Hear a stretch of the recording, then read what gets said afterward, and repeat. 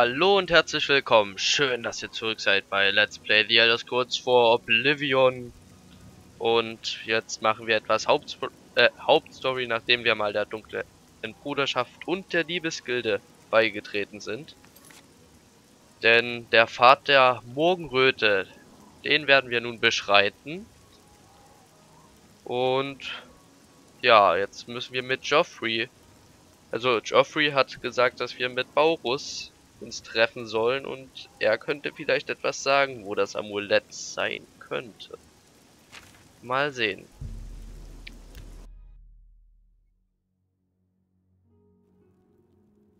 So.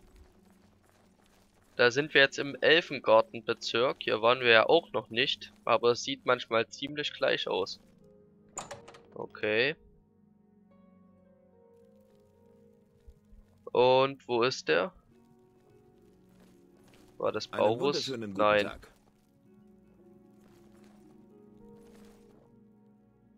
Aha. Hier ist Baurus. Setzt euch, sagt kein Wort, tut, was ich euch sage.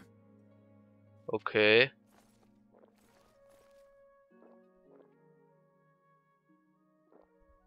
Hört zu, ich werde gleich aufstehen und hinausgehen. Der Kerl dort in der Ecke wird mir folgen und ihr folgt dann ihm.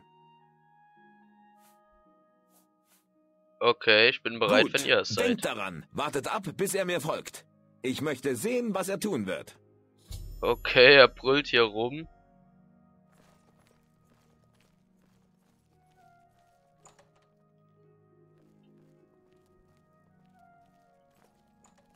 Ist das einer von der mystischen Morgenröte?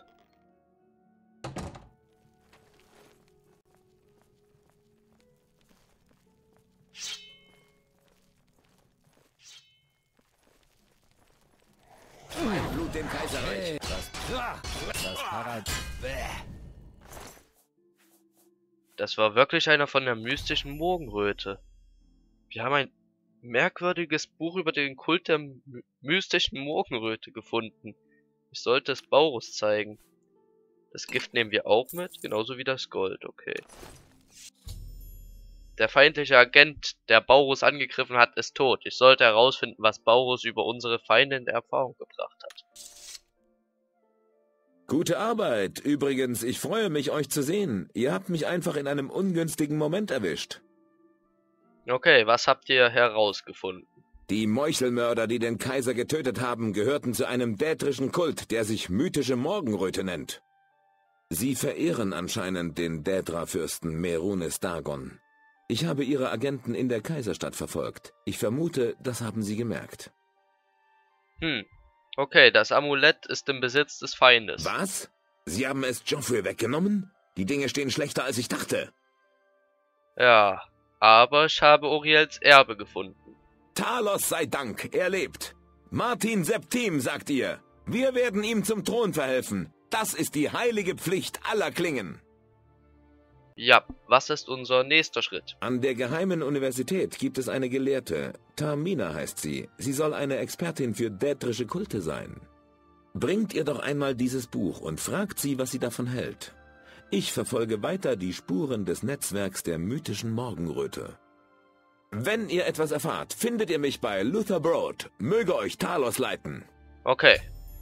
Tormina. Wie gesagt, sie ist eine der hellsten Köpfe an der Geheimen Universität soll alles über dätrische Kulte wissen. Die könnte uns wirklich helfen. Ich hoffe, Tamina konnte euch etwas über dieses Buch erzählen. Das könnte genau die Chance sein, die wir brauchen. Was braucht ihr, Freund? Was? Der hat sich ja ziemlich schnell teleportiert. So, okay. Geheime Universität. Ja, da habe ich studiert, wisst ihr? Boah. Das sieht ja cool aus. Was ist los? Nix, nix. Ein Kampfmagier. Hm? Tormina. Ah, ihr müsst der sein, über den ich die Nachricht erhielt. Wie kann ich euch helfen? Ähm, Kaiserstadt erstmal. Zu groß für mich. Laut, dreckig. Clowns, Narren, Tiere und Diebe überall. Wenn ich mein Gold wegwerfen möchte, versenke ich es einfach im Rumare-See. Spart Zeit. Hm. Bei der Magiergilde läuft eigentlich alles wie gehabt. Aber wir haben seit der Ächtung der Totenbeschwörung ziemlich viele Mitglieder verloren. Okay. Und jetzt mal die mythische Morgenröte. Ihr kennt sie? Einer der geheimnisvollsten und verschlossensten aller dädrischen Kulte. Es ist nicht viel über sie bekannt. Sie folgen den Lehren von Mankar Kamuran, den sie ihren Meister nennen selber eine schattenhafte Gestalt. Mhm. Ich habe eines ihrer Bücher gefunden. Ah ja, Erläuterungen zum Mysterium Xarxes, herrlich. Ihr habt also ein wissenschaftliches Interesse an den dädrischen Kulten? Ähm, nein, ich muss die mythische Morgenröte finden. Nach ihnen suchen, wie? Dort würde ich meine Nase nicht tiefer hineinstecken. Offizielle Angelegenheiten und so. Ich arbeite schon lange mit den Klingen zusammen, keine Sorge. Sagt nichts mehr. Auf jeden Fall dürfte es nicht leicht sein, sie zu finden. Ich habe selbst ein wenig in den Schriften von Mankar Kamuran gelesen, zumindest in denen, die ich auftreiben konnte. Aus dem Text wird klar, dass es vier Bände der Erläuterungen von Mankar Kamuran gibt. Aber ich habe bislang nur die ersten beiden gesehen.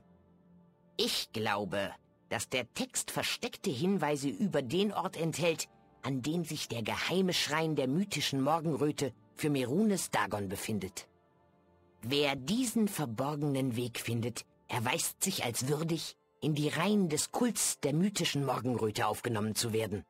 Die Suche nach dem Schrein ist die erste Prüfung. Wenn ihr ihn finden wollt, braucht ihr alle vier Bände der Erläuterungen. Aha, und wo kann ich diese Bücher finden? Hier. Ihr könnt Band 2 aus der Bibliothek haben. Geht bitte vorsichtig damit um. Wie gesagt, den dritten und vierten Band habe ich noch nicht einmal zu Gesicht bekommen. Fragt doch bei der Erstausgabe nach, drüben im Marktviertel.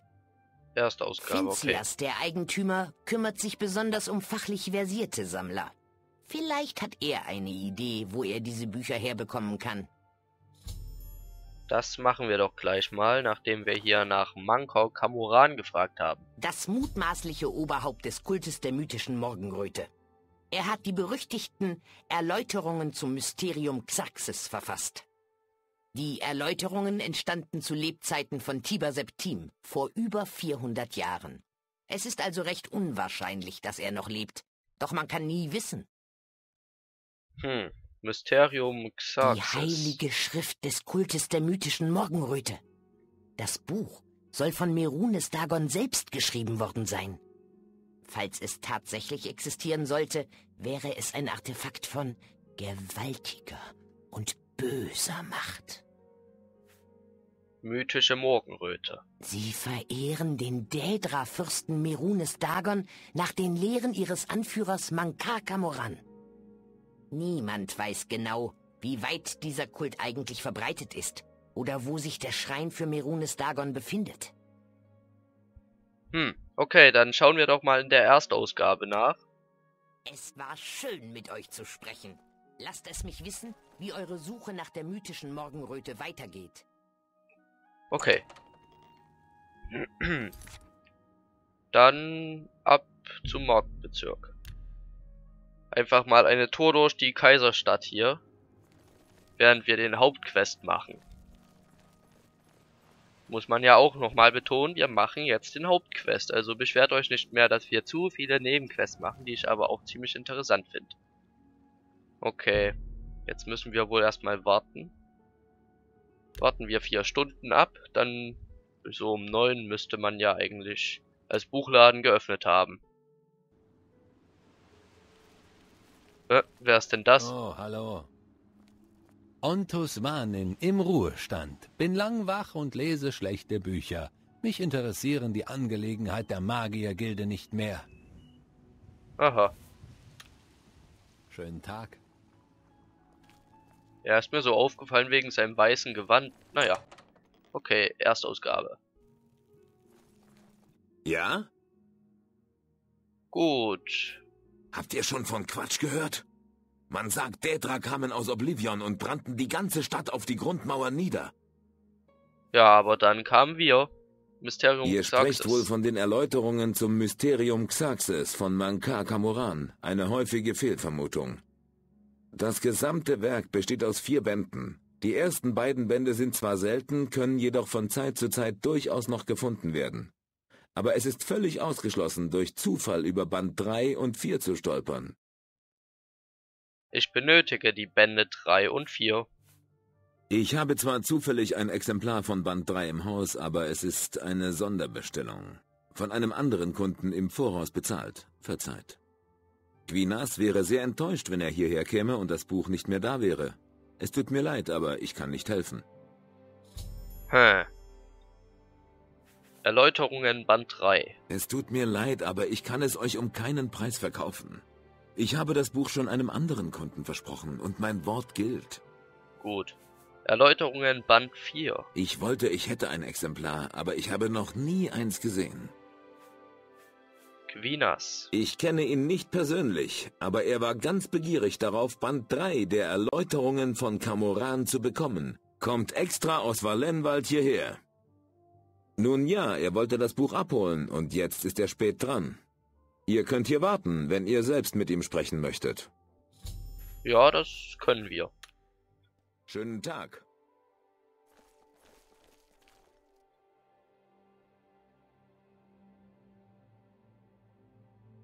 So.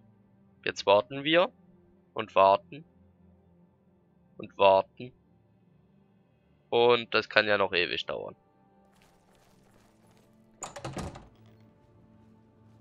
Hm. Ist das vielleicht Quinas? Ah, Quinas. Es tut mir leid, aber ich bin schon spät dran für einen Termin. Ich habe jetzt keine Zeit. Okay, wir laufen ihm mal voraus. Okay. Ich komme wegen meines Buches. Die Erläuterungen von Mankar Kamoran, Band 3. Aber natürlich, bitteschön. Wir würden uns freuen, wenn ihr uns bald wieder beehrt. Danke, vielen Dank. Ich weiß gar nicht mehr, wie lange ich schon nach diesem Buch suche. Seid gegrüßt, Kaiserlicher. Hallo. Ja? Okay.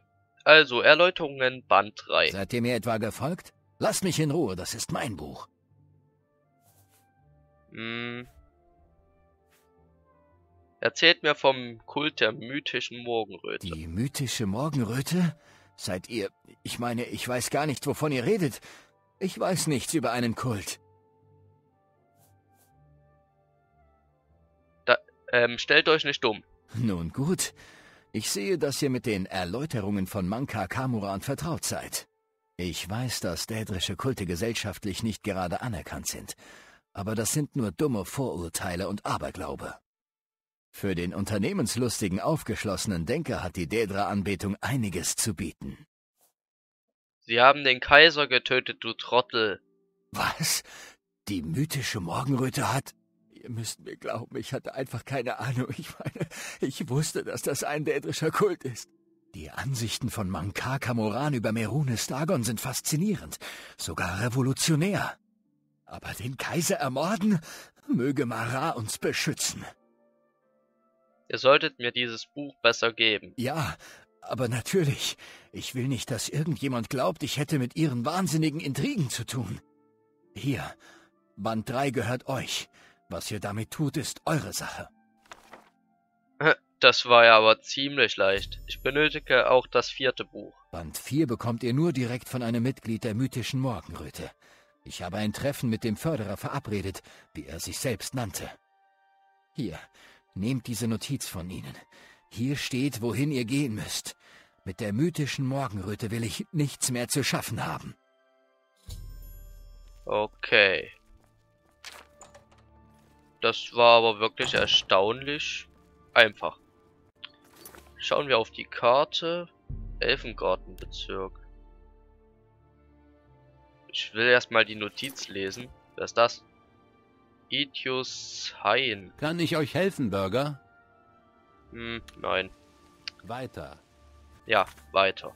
Gut. Hm, Notiz, irgendwas, wo war die? Ähm, Notiz von Quinas. Quinas, eure, eures Äh, euer Interesse an den Schriften des Meisters wurde vermerkt. Ihr macht die ersten Schritte auf den Weg zur wahren Erleuchtung. Mit Beharrlichkeit werdet ihr noch in den Reihen der Auserwählten aufsteigen. Wollt ihr weiter auf dem Pfad der Morgenröte wandeln, so benötigt ihr den vierten Band der Erläuterung zum Mysterium Xarxes des Meisters.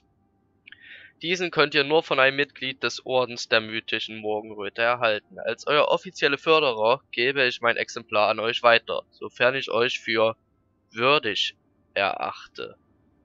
Studiert die ersten drei Bände von des Meisters Schriften, sucht so gut ihr könnt nach den verborgenen Bedeutungen in seinen Worten. Wenn ihr soweit seid, kommt zu den versunkenen Abwasserkanälen unter dem Talosplatz in der Kaiserstadt.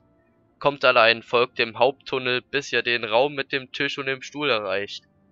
Setzt euch dorthin, ich werde euch dort treffen, euch das geben, nachdem ihr strebt, der Förderer. Okay, dann mal los.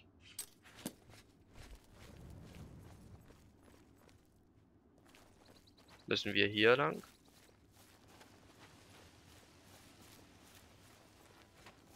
Was ist los? Sieht so aus, als müssten wir aber diese Schriften lesen oder was auch immer. Gehen wir jetzt zu Luther Rhodes. Nehmen wir jetzt auch noch Hilfe an? Wir sollen doch alleine kommen. Ihr seid nicht leicht ausfindig zu machen. Was habt ihr herausgefunden? Mythische Morgenröte. Sie werden für den Mord am Kaiser büßen. Wo wir jetzt wissen, wer sie sind, ist es nur noch eine Sache der Zeit. Okay, mythische Morgenröte Versammlung. Das könnte genau die große Chance sein, die wir brauchen. Gute Arbeit. Wir müssen also dieses vierte Buch finden. Wenn Tamena recht hat, können wir mit diesen Büchern zum verborgenen Schrein der mythischen Morgenröte finden. Auf geht's. Diesen Teil der Abwasserkanäle kenne ich gut. Aha, du Kanalratte. Abwasserkanäle. Die Abwasserkanäle verlaufen unter der gesamten Kaiserstadt. In jedem Bezirk gibt es Zugänge. Die Klingen nutzen sie dann und wann bei geheimen Vorhaben. Und sie können sich so in der Stadt bewegen, ohne Aufmerksamkeit zu erregen. Okay. Folgt mir. Ich weiß, wie man zu dem Teil der Abwasserkanäle gelangt, wo wir den Förderer treffen müssen. Gut, das machen wir noch. Ich möchte natürlich nicht zu lange überziehen, aber ich habe dann Angst, dass wir den guten Baurus dann nicht mehr finden. Und darum gehen wir schon mal mit ihm mit. Okay. Und dann werden wir in der nächsten Folge mal sehen, ob das gut gehen kann oder ob das in die Hose geht. Okay, bis dahin. Ciao, ciao.